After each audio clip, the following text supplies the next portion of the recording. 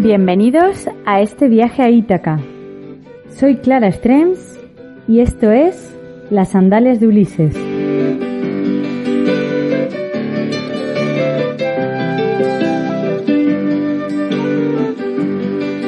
Programa de hoy seguiremos recorriendo Lituania. Hoy os llevo a Kaunas, a la segunda ciudad más poblada de Lituania.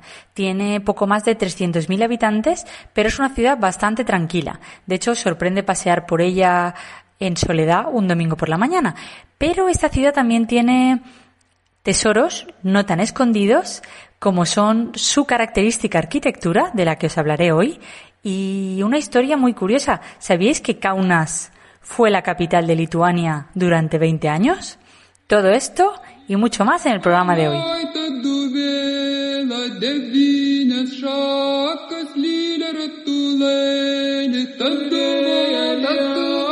Los vientos soplaron sobre ese terrible fuego. Los caballeros marcharon hacia el corazón de Lituania. El informe dice que Kaunas y Vilna están siendo asediadas. Luego cesaron los informes y los correos no llegaron más. Ya no se veían llamas en la región, pero más a lo lejos se veía un resplandor rojizo en el cielo. En vano, los prusianos miran con impaciente esperanza para obtener botín y prisioneros de la tierra conquistada. En vano se despachan correos rápidos con noticias. Los correos se apresuran, pero no vuelven más. Como cada una de estas dudas crueles interpretadas, de buena gana, conocería la desesperación misma. El otoño pasó. Las nieves del invierno aparecen sobre las montañas, bloquean los caminos. Una vez más, sobre el cielo, distante, brillan auroras de medianoche o los fuegos de la guerra. Y cada vez más cerca está la luz de las llamas, y aún más cerca el resplandor rojizo del cielo. Fragmento del poema Konrad Wayenroth de Adam Mickiewicz, ambientado en el Gran Ducado de Lituania.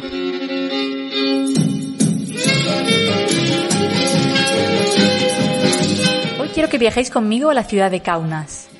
Pero se trata de un viaje bastante especial, un viaje en el tiempo y en el espacio. Os llevaré a la ciudad, pero también a través de sus periodos históricos más importantes. Además, esto es clave para entender por qué Kaunas es como es hoy en día. Mi primera parada es la plaza del Ayuntamiento de Kaunas.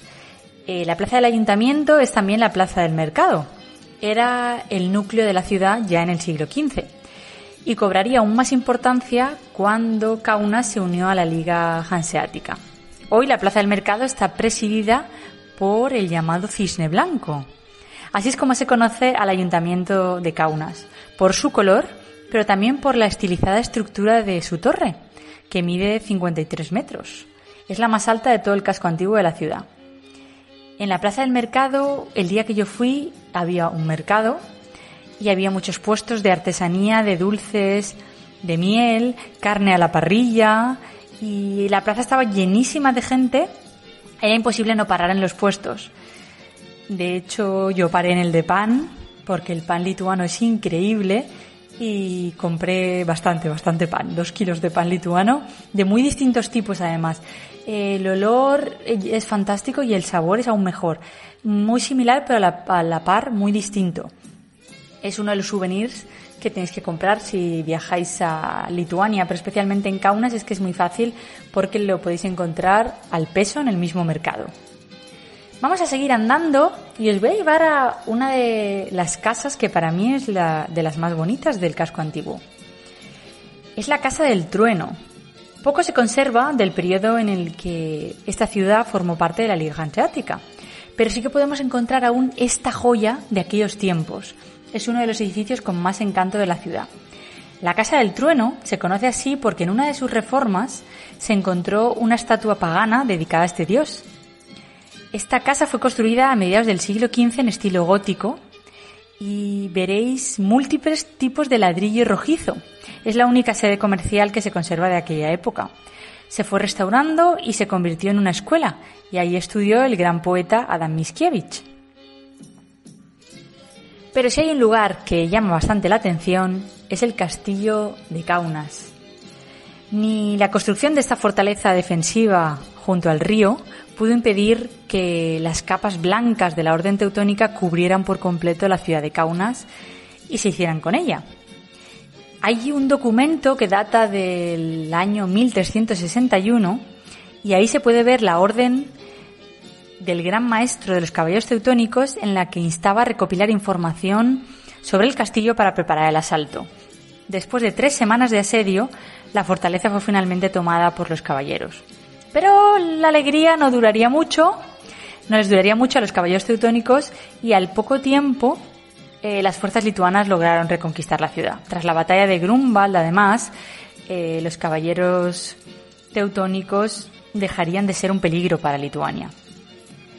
Dada su proximidad al río, con los años el castillo se inundó en repetidas ocasiones y estuvo prácticamente abandonado hasta principios del siglo XX. En ese momento se inició su restauración, acabándose hace muy poco, en el año 2011. De hecho, ahora se puede visitar y es un museo.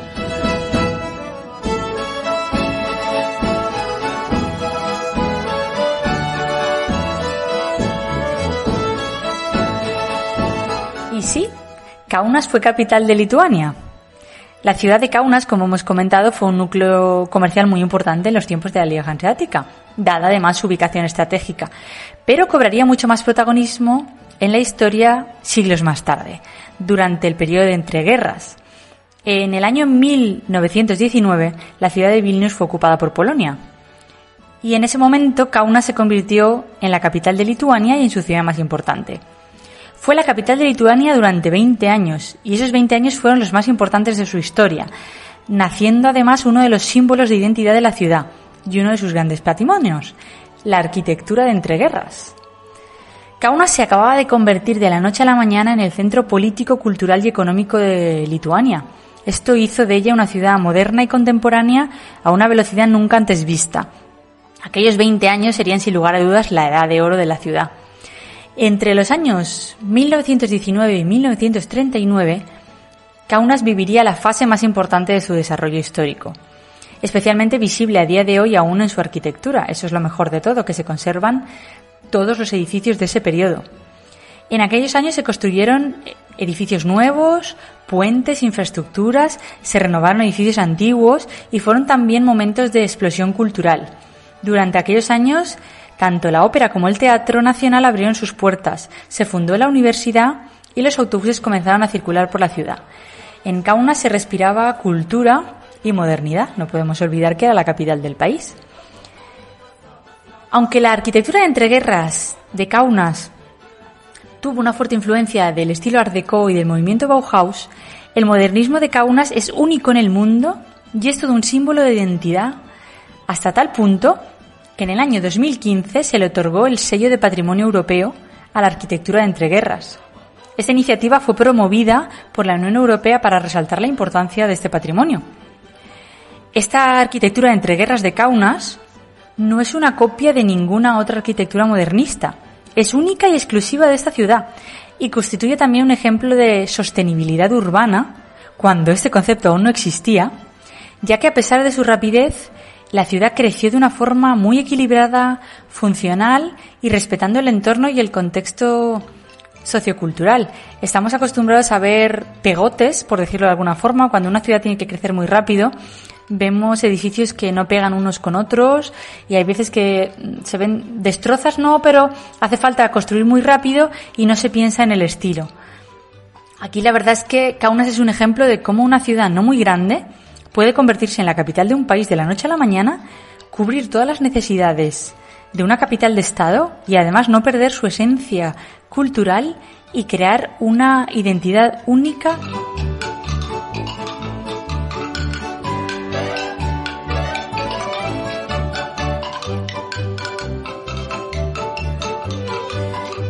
En el periodo de entreguerras, en Kaunas también se construyeron infraestructuras y, uno, y transportes. Y hay unos que son muy curiosos, que es uno de los tesoros de la ciudad y son sus dos funiculares. Ambos cuentan con el sello de patrimonio europeo. El funicular Zaliakalnis, que aún funciona, aunque cuando yo fui estaba cerrado por reparación, fue construido en 1931 y es el funicular más antiguo de toda Lituania. Durante mucho tiempo fue un transporte muy popular entre los habitantes de la ciudad. Hoy, debido a su importancia histórica, es también un reclamo para curiosos y visitantes. Pero hay un segundo funicular, el funicular de Alexotas. Este otro funicular se inauguró solo unos años más tarde que el anterior, eh, pero lo curioso es que aún conserva los vagones de antes de la guerra con sus asientos de madera. Así que además de disfrutar de las vistas, porque ofrece unas vistas de la ciudad únicas, subir en ellos es también hacer un viaje en el tiempo al momento del máximo esplendor de Kaunas. Es toda una experiencia, un viaje en el tiempo y en el espacio. Y como buena ciudad lituana que se precie, en Kaunas no pueden faltar las iglesias. Las hay y no pocas precisamente, aunque por su estilo diferente yo destacaría dos. Una de ellas es la Basílica de Resurrección de Kaunas de nuestro Señor Jesucristo. Es una iglesia blanca y muy imponente y llama la atención desde cualquier punto de la ciudad, pero además es que es internacionalmente conocida porque es la iglesia más grande de todos los países bálticos. Eh, nada más entrar en uno de los laterales del templo, en la parte izquierda, llama la atención una piedra blanca incrustada en la pared. Esta piedra es la piedra angular de la iglesia y fue traída en 1934 desde el Monte de los Olivos de Jerusalén. Pero en aquellos momentos la historia de la iglesia no había hecho más que empezar. Tras la ocupación nazi de Lituania, estos, los nazis, la utilizarían de almacén. Después, durante la ocupación soviética, la iglesia fue confiscada por el gobierno para utilizarse como fábrica. La cruz de la torre fue demolida y la misma suerte correría la capilla. En los años 90 el edificio fue devuelto por fin a la iglesia, pero la crisis económica del país paralizó la reconstrucción.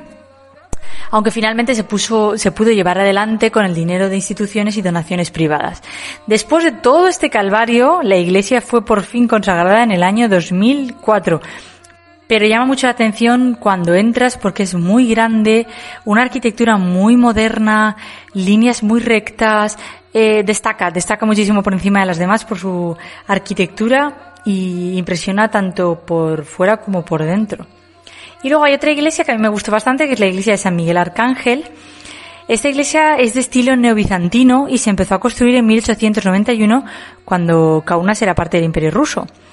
Aunque lo que hace que sea más bonita si cabe es que se encuentra al final de la calle peatonal, la calle Aleja Laisves. Es la calle principal peatonal de la ciudad y como broche de oro ves la iglesia al final. Así que es uno de los paseos más agradables de Kaunas, a mí me gusta mucho.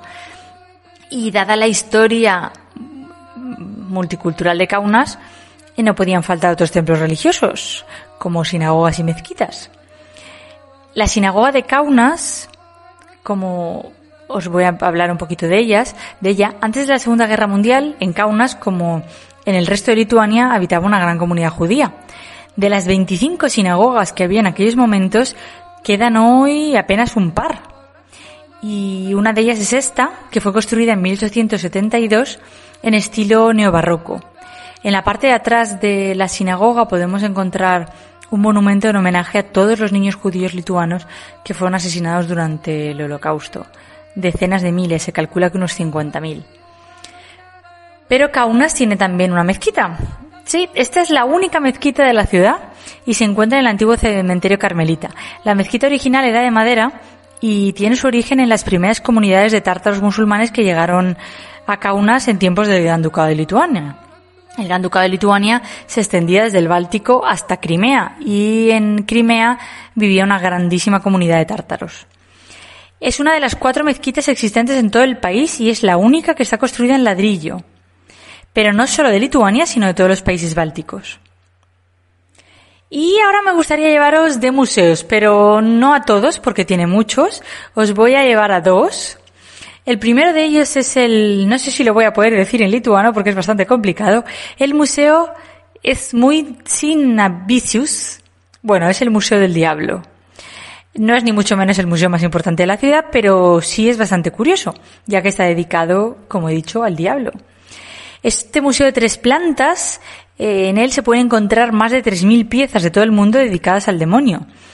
Esto empezó como una colección particular y ha acabado por convertirse en uno de los museos más peculiares del mundo. Más que por los objetos en sí mismo, por la temática diabólica, y nunca mejor dicho. Y luego hay otro museo muy especial, que es el Museo Nacional de Arte MK Ciurleonis. Y aquí os voy a contar una historia porque este hombre fue un compositor, pero yo lo descubrí por otra vía muy curiosa. En mi segundo viaje a Vilnius, allá por el 2009, eh, tuve un flechazo. Si no había tenido ya suficientes con la capital lituana, que me encanta, iba andando por la calle y en una calle estrecha había un muñeco gigante de color blanco colgado en la pared, era como una especie de muñeco de plástico, bueno, era una oveja de, como de plástico colgada. Este animal daba la bienvenida a la que acabaría convirtiéndose en una de mis tiendas favoritas, mi tienda favorita de, de Vilnius.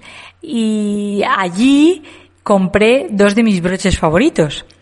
Pero lo mejor de, de, esto no son lo que compré, sino que cuando volví yo guardaba la tarjeta aún, porque me, me encantaba tan, me encantó tanto todo lo que tenían, que la guardé la tarjeta y volví diez años más tarde y aún existía la tienda, no estaban en el mismo sitio, pero el logo seguía siendo el mismo, una oveja dorada y estaba en una calle más amplia y la tienda era mucho más grande. Así que entré y le dije a la chica que me hacía mucho, se debió quedar a cuadros, que me hacía muchísima ilusión entrar en esa tienda porque estabais en la calle de atrás, ¿verdad? La chica, sí, pero hace mucho tiempo. Yo, claro, es que yo vine hace 10 años. Pero me hizo muchísima ilusión porque fue uno de mis flechazos con, con la ciudad. En aquella pequeña tienda yo compré eh, unos cuantos broches, entre los que se encuentran mis dos broches favoritos y siempre llaman muchísimo la atención cada vez que me los pongo. Tanto para conocidos como incluso extraños me han llegado a parar a preguntarme eh, quién es la persona que está en el broche. Cada uno de los broches es un retrato y el más grande tiene como protagonista eh, un rostro serio pero muy delicado. Y se trata de mi, de Mikaulus Constantinas Siurlonis, que fue un pintor y compositor lituano que nació a finales del siglo XIX un niño prodigio que tocaba ya de oído con tan solo tres años y a pesar de morir a la temprana edad de 35, fue un prolífico artista, pintó más de 300 cuadros y compuso unas 250 piezas musicales. Un auténtico genio que por desgracia se fue demasiado pronto. Así que yo siempre que alguien me pregunta, como el nombre a lo mejor es demasiado largo o difícil de retener, yo siempre digo que es un gran compositor y pintor lituano. En Kaunas podemos encontrar también otros museos de temática muy variada, como por ejemplo el Museo para Ciegos, el Museo Lituano de Aviación, el Museo de Historia de la Medicina, el Museo Povilas Stulga de, Instrumentos Populares, el Museo de la Guerra de Vitautas el Grande, entre otros. Pero si hay un lugar que destaca porque, como sabéis, el deporte nacional de Lituania es el baloncesto. Y si no lo sabíais, os lo digo yo. Es innegable la pasión de los lituanos por el básquet. Y con semejante predilección no podía faltar en la ciudad un pabellón deportivo moderno y espectacular. Y no solo eso, este pabellón, el Zalgiris Arena, es el más grande de todos los países bálticos. Fue inaugurado en el año 2011 y allí juega el Basketball Club Zalgiris, que es el equipo de baloncesto de la ciudad.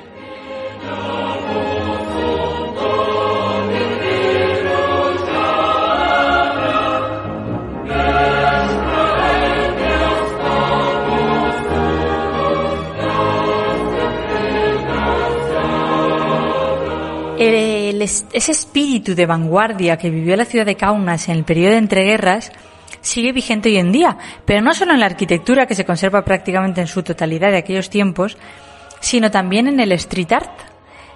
Kaunas es una ciudad muy importante de arte urbano y está reconocida como una de las ciudades de la región que alberga la mayor cantidad y calidad de arte callejero. Hay muchísimos murales de gran tamaño y colorido y además la ciudad está en la lista de ciudades creativas de la UNESCO y será capital europea de cultura en el año 2022. Kaunas nos demuestra de alguna forma que la modernidad no tiene por qué ir unida al bullicio y que es posible vivir la historia en cada esquina sin apenas percibirlo. La belleza de su arquitectura reside además en la perfecta integración con el entorno como sus iglesias, museos y hasta el street art. La evolución que se ha ido adaptando a la perfección suave y sigilosamente, como lo fue su nombramiento como capital de Lituania. Espero que hayáis disfrutado con el programa de hoy y con este recorrido tan particular de la ciudad de Kaunas.